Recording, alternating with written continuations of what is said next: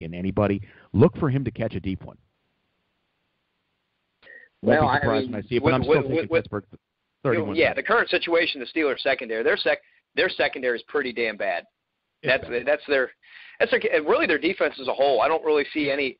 I really don't see anywhere on the Steelers defense where they're you know they had the Browns Good is you know as miserable. Yeah, I mean as mi- as miserable oh. as the Browns have been. I mean they were having success. You know a little bit of success on them offensively, and I think Yep. I look I look at the Browns as a team that's totally packed it in. Yeah, I do. You know what? I'm glad you mentioned that too because uh, I listening back to uh, one of the shows a couple weeks ago. I started to rail on about teams quitting, and I was really beating up the Jacksonville Jaguars and suggesting that they quit on Gus Bradley. And I got to tell you, uh, NFL players. I'm not going to say they don't quit, but I think it's really unfair to say that these guys quit because they're putting it on film. And if you quit on film, and your coach gets fired, the new coach comes in and looks at that game film and goes, "He quit. He quit. He Well, a lot of these guys- Ryan Clark made a good point. I was watching him on ESPN. He made a very good point. He said, really, you know, a lot of these guys, they're ind- these football players are independent contractors. Where yes, they're Mhm. playing for the they're playing for the logo on their helmet, but they're also playing mainly for the jersey for the For name their- on the back of their jersey. That's exactly if- my point. Yeah. yeah, and, and if you you know if you're not looking good, I mean, you're you come up on a contract, you're a free agent. Not only is your team not going to re-sign you, but other teams are very skeptical to fuck, to sign you as well. That's right. They're going to So- look and say, "He quit. He quit. I'm not Yeah. paying him to be here." And you're right. No. And Ryan Clark's right. They're 1099 independent contractors. They're playing for their contract.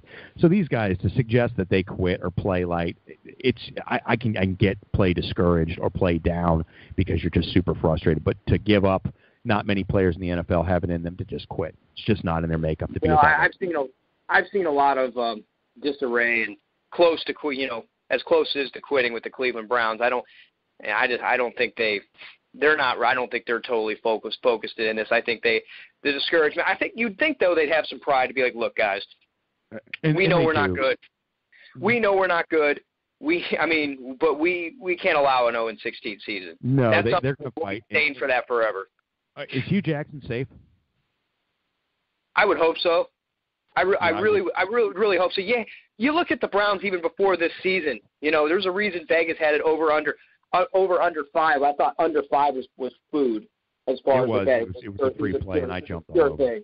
Um, but yeah, I, Oh. look, I, I hope Hue Jackson is safe. He needs time to build this team. They've got some nice pieces there. I think Terrelle Oh, Pryor. Uh, my bold can- prediction at the beginning of the season was Pryor would probably turn into a pretty good player this year, and he did. He's a great athlete. Um, I will say this, and then we got to get rolling because it is Turkey Day, and some of us got to go roast birds. Um, if the Cleveland Browns do not shut Cody Kessler down for the season, they are they are shamefully, shamefully responsible for that kid's future. Yeah, he's got nothing to gain. There's nothing to gain with that kid. I know I know you kind of want to evaluate and see if this is indeed your quarterback for the future, but he's got nothing to work with. I don't care who you have back there. It's Get not you're not doing field. you're you're not doing the kid any favors. I agree. No, you're, you're going to kill him, and if if they don't get him, off, I, he's had four concussions. Haven't you learned your lesson from Tim Couch? that- yeah, I mean, the- get this kid or. off the field for his sake. Let him grow and learn from the silence, but protect the young man's health. He's a young guy. You're going to ruin his life. Uh, Yeah, I also I also have a reason to believe that Luke Kuechly should hang it up. As good as I think he is, he he should probably take the Chris Borland, the Patrick Willis approach, and say, you know what. Um, when I saw him go down the other night and start crying like that, that that's a uh, that's really scary, and that is a symptom of severe brain injury. It's a traumatic. Yeah, severe trauma because your emotions go haywire, go haywire Uh, like Yeah, that. and he Um, couldn't control any of it. No, and That's- here's the other thing too. I think a lot of it is emotion because Luke Kuechly is somebody everybody knows. He just has a passion and a love for the game of football, and you can Sure. tell by the way the kid plays. He loves this game, and Yeah. it, he puts his heart into it.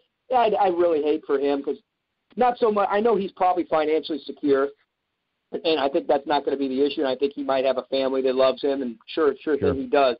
But you know, I do feel bad for him in the sense that you know I can just tell how much the kid pours his heart and loves this game. And Sure, I think it like would really, most of those really guys out there. A lot I mean, with the head. I worry about him with a, with a sense of depression if he retires from the NFL, not having not having the game anymore. You know, already having those severe injuries. I really, I worry about him. He's got bigger problems, but we can't have a concussion discussion today because it is Thanksgiving. So let's keep it light. I brought it up, but uh, uh, there you have it, man. Those are our picks. Um, to anybody out there, on Thanksgiving Day. Uh, hopefully, you get to spend it with your family and your friends and your loved ones, and you uh, you you hug everybody and care for everybody, and, and don't forget to make a plate of turkey for your dog. It's important to them too. so if you're out there, guys, uh, we love you, we appreciate you, and happy Thanksgiving to anybody and everybody. Uh, Joe, say something vulgar, please don't.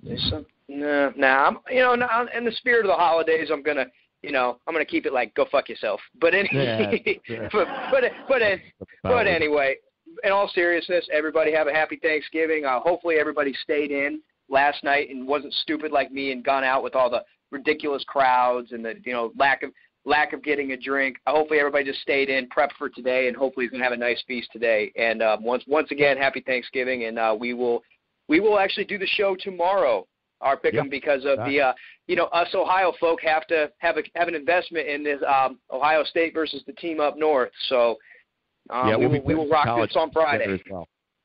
We uh, prepare your college picks because we'll have those as well. So, uh, all that said, happy Thanksgiving, everybody. Go out there and have a great, safe day. We'll uh, we'll talk to you all soon.